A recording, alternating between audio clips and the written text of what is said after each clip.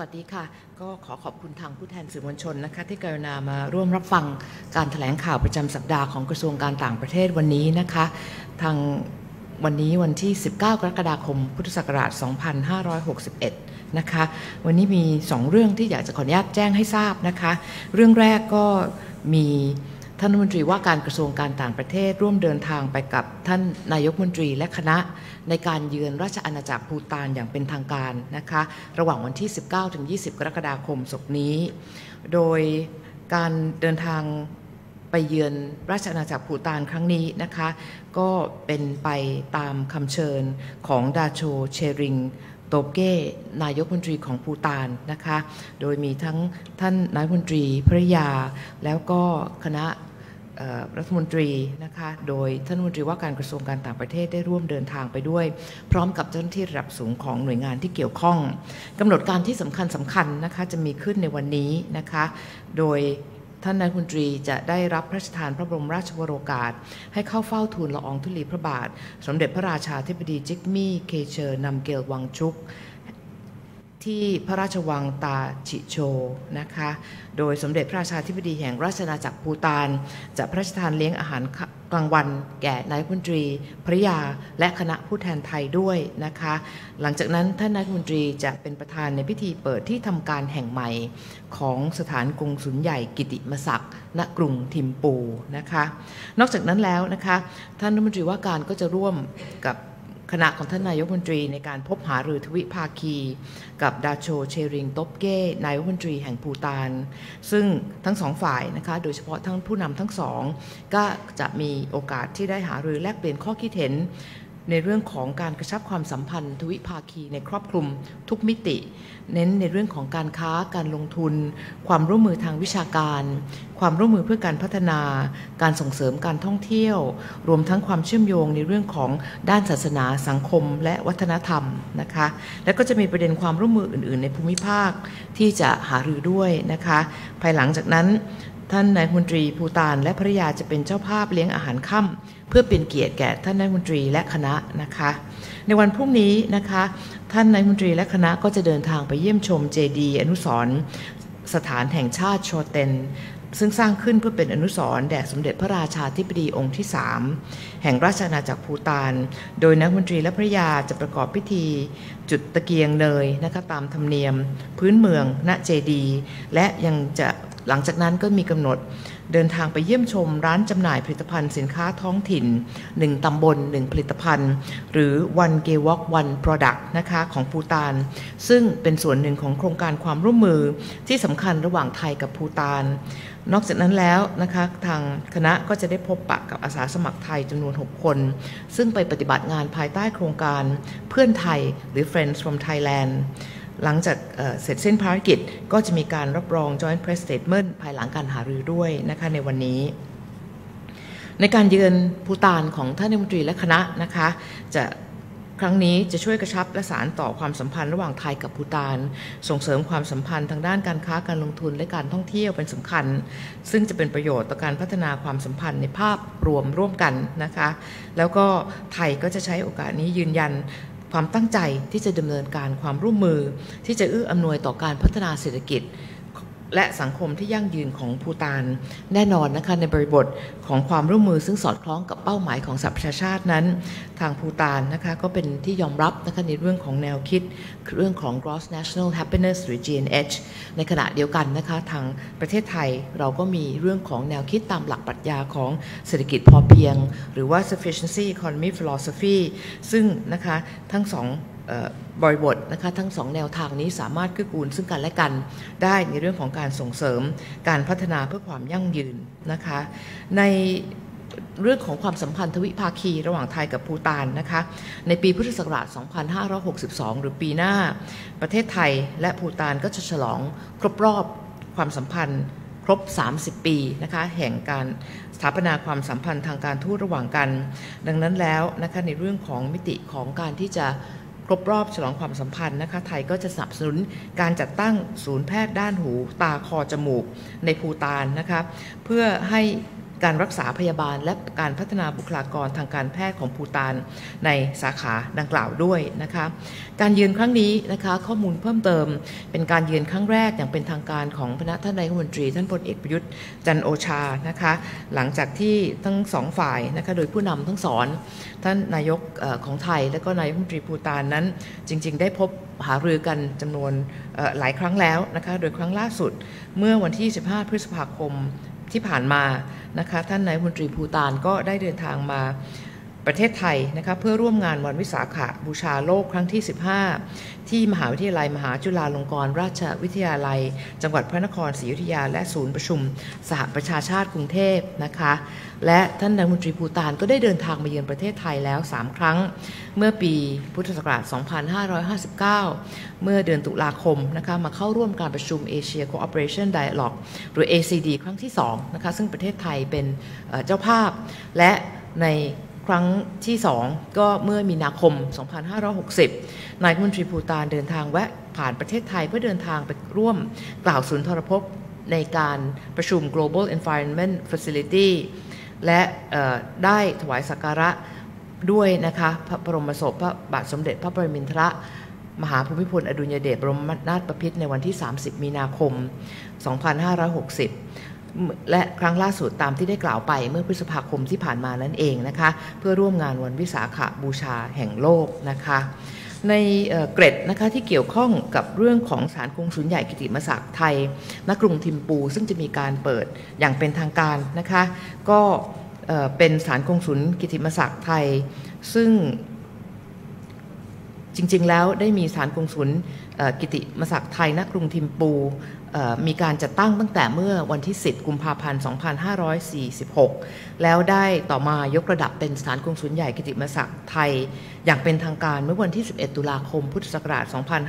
2556 นะคะ โดยมีดาโชอูเกนเชชับดอร์จี พระมาตุลา ของสมเด็จพระราชาธิบดีแห่งภูตานดำรงตำแหน่งกรุงสุลใหญ่กิติมศักดิ์ โดยได้รับสัญญาบัตรตราตั้งเมื่อวันที่ 11 ตุลาคมพุทธศักราช 2546 และมีนางดีเช่นชำยางนะคะเป็นรองกงสุลใหญ่กิติมศักดิ์สารกงสุลใหญ่กิติมศักดิ์ ไทยณกรุงทิมปูนะคะมีเจ้าหน้าที่ปฏิบัติงานรวม 9 คนนะคะภารกิจสำคัญก็คือเรื่องของการให้ความช่วยเหลือคนไทย การอำนวยความสะดวกเรื่องการตรวจลงตราให้แก่ชาวภูตาน ที่ต้องการเดินทางเข้าประเทศไทยเพื่อวัตถุประสงค์ด้านการท่องเที่ยวการศึกษา และการรักษาพยาบาลนะคะการรับรองคณะทางการจากประเทศไทย รวมทั้งการประชาสัมพันธ์เกี่ยวกับประเทศไทยด้วยนะคะที่ทำการแห่งใหม่ ของสารกงสุลใหญ่กิติมศักดิ์ไทย ซึ่งจะมีพิธีเปิดกันอย่างเป็นทางการในการเยือนของนั่นนายกมนตรีในครั้งนี้ จะตั้งอยู่บริเวณอาคาร ราชวิทยาลัยสิงห์ทอ ซึ่งประกอบไปด้วยส่วนของพิพิธภัณฑ์สิงห์ทอ ภายใต้พระบรมราชินูปถัมภ์ของพระราชินีจังเก้โชเดนวังชุกนะคะ และส่วนที่ทำการของหน่วยงานสำคัญต่างๆ ด้วยนะคะก็เป็นสถานที่ที่มีความสำคัญ และจะส่งเสริมให้ความสัมพันธ์ โดยเฉพาะในเรื่องของการเดินทางไปมาหาสู่ระหว่างประชาชนของทั้งสองประเทศนั้นมีความสะดวกมากยิ่งขึ้นนั่นเองนะคะเรื่องที่2นะคะจะขออนุญาตแจ้งนะคะเเรียนให้ทราบว่าท่านมนตรีว่าการกระทรวงการต่างประเทศนะคะท่านดอนประมัติวินัย ท่านจะเดินทางไปกรุงวอชิงตัน สหรัฐอเมริการะหว่างวันที่ 28 ถึง 23 ถึง 28 กรกฎาคมศกนี้ เพื่อเข้าร่วมการประชุมระดับรัฐมนตรีว่าด้วยการส่งเสริมเสรีภาพทางศาสนานะคะหรือการประชุมชื่อภาษาอังกฤษว่า the Ministerial to Advance Religious Freedom นะคะโดยกำหนดการเยือนกรุงวอชิงตันของท่านรัฐมนตรีว่าการกระทรวงการต่างประเทศวัตถุประสงค์หลักนะคะเพื่อเข้าร่วมการประชุมระดับรัฐมนตรีว่าด้วยการส่งเสริมเสรีภาพทางศาสนา ซึ่งจะมีขึ้นนะคะในวันที่ 26 กรกฎาคมศกนี้ และในโอกาสเดียวกันนี้ในการเข้าร่วมการประชุม ท่านรัฐมนตรีว่าการกระทรวงการต่างประเทศก็จะใช้โอกาสในการพบหารือกับบุคคลสำคัญของรัฐบาล และผู้แทนรัฐสภาสหรัฐด้วยนะคะ โดยการประชุมว่าด้วยเรื่องการส่งเสริมเสรีภาพทางศาสนานะคะเป็น มีการประชุมครั้งนี้จะแบ่งเป็น 3 หัวข้อหลักนะคะ โดยเน้นในเรื่องของการประชุมจะมีขึ้นในวันเดียวนะคะ ในวันที่ 26 กรกฎาคม แบ่งเป็น 3 หัวข้อเออเป็นเรื่องของเรื่องของความท้าทาย เป็นเรื่องของการหาหนทางแก้ไข และเป็นเรื่องของแนวทางที่จะนำไปสู่การปฏิบัติในอนาคตด้วยนะคะ ท่านรัฐมนตรีว่าการก็จะเข้าร่วมกัน กับประชุมครั้งนี้โดยจะมีการกล่าวถ้อยแถลง แล้วก็ใช้โอกาสนี้แลกเปลี่ยนข้อคิดเห็นนะครับเป็นในเชิงของ interactive กับผู้เข้าร่วมการประชุมวัตถุประสงค์หลักนะครับประเทศไทยคงจะเน้นในเรื่องของการเผยแพร่ความก้าวหน้าของไทย ในเรื่องการคุ้มครองเสรีภาพในการนับถือศาสนา เราต้องการเน้นในเรื่องการเสริมสร้างภาพลักษณ์ และบทบาทที่สร้างสรรค์ของไทยในด้านสิทธิมนุษยชน ในเวทีระหว่างประเทศนะคะ และเราจะใช้โอกาสนี้เน้นย้ำว่าไทยให้ความสำคัญ กับพันธกรณีระหว่างประเทศ ด้านสิทธิมนุษยชน โดยเฉพาะอย่างยิ่งด้านเสรีภาพในการนับถือศาสนา ตามข้อ 18 ของปฏิญญาสากล ว่าด้วยสิทธิมนุษยชนและข้อ 18 ของกติการะหว่างประเทศว่าด้วยสิทธิพลเมือง และสิทธิด้านการเมืองสำหรับข้อมูลเพิ่มเติมนะคะ การประชุม ว่าด้วยเรื่องส่งเสริมเสรีภาพทางศาสนาในระดับรัฐมนตรีที่จะมีขึ้น ในวันที่ 26 กรกฎาคมศกนี้ ก็เป็นข้อริเริ่มนะคะของสหรัฐอเมริกา โดยนายไมค์พอมเปโอรัฐมนตรีว่าการกระทรวงการต่างประเทศสหรัฐ ประกาศเป็นเจ้าภาพการประชุมครั้งนี้นะคะเนื่องในโอกาสครบ 20 ปีของการมีกฎหมาย International Religious Freedom Act ของสหรัฐอเมริกานะคะและในโอกาสครบรอบ 70 ปีของปฏิญญาสากลว่าด้วยสิทธิมนุษยชน โดยวัตถุประสงค์นะคะต้องการที่จะสนับสนุนในเรื่องอการส่งเสริมและปกป้องเสรีภาพทางศาสนา และต้องการที่จะหาทีท่าทีร่วมกันนะคะระหว่างประเทศผู้เข้าร่วมการประชุมในครั้งนี้ โดยมีประเทศที่ได้รับเชิญประมาณ 90 กว่าประเทศนะคะแล้วหลัง เสร็จสิ้นการประชุมครั้งนี้ ทางสหรัฐก็จะมีถ้อยแถลงสรุปประเด็นของการประชุมเพื่อเผยแพร่ต่อไปนะคะซึ่งผู้แทนที่จะมาเข้าร่วม 90 กว่าประเทศนั้น ก็เป็นประเทศที่สหรัฐได้เชิญมา แล้วก็เห็นว่าเป็นรัฐบาลที่มีแนวทางสอดคล้องกันในเชิงของความคิด ในเชิงของท่าที ในเชิงของแนวนโยบายในการส่งเสริมเสรีภาพ การนับถือศาสนานะคะ แล้วก็จะมีองค์ผู้แทนจากองค์การระหว่างประเทศ ผู้แทนศาสนาและภาคประชาคมสังคมเข้าร่วมด้วยนะคะ ส่วนในการยืนกรุงวอชิงตันครั้งนี้อย่างที่เรียนไปนะคะท่านมนตรีว่าการกระทรวงการต่างประเทศก็จะใช้โอกาสนี้นะคะ พบปะหารือกับบุคคลสำคัญของรัฐบาลและรัฐสภาสหรัฐนะคะ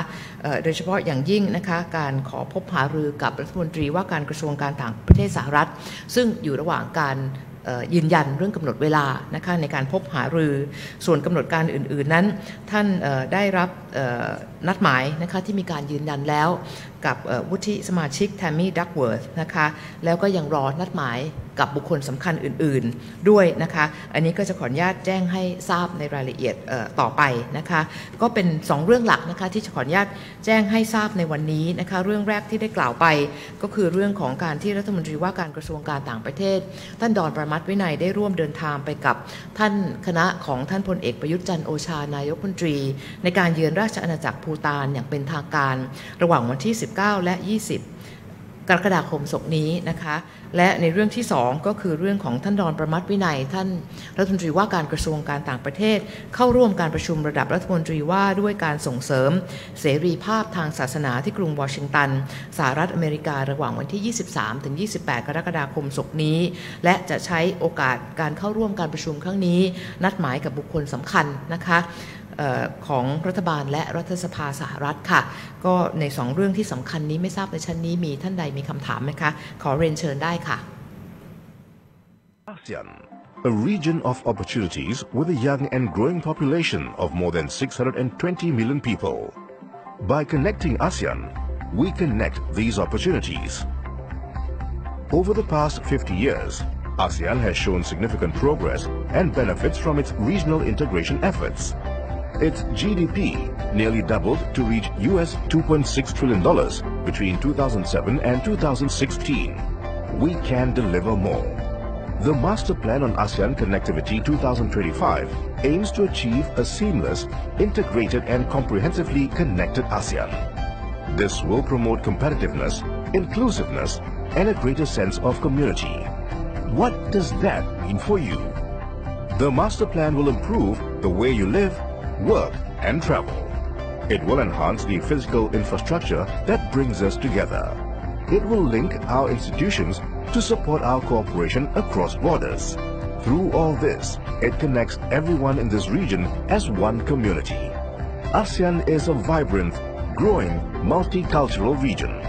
Our diversity is our strength. To better harness this potential, ASEAN connectivity will bridge the country's individual strengths to make us collectively stronger. ASEAN connectivity will help us better work together on our common challenges. Our region needs a significant increase in infrastructure investments to meet our growing needs. 90 million more people will call our cities home by 2030.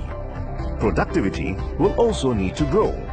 We also need to cooperate to reach our full potential.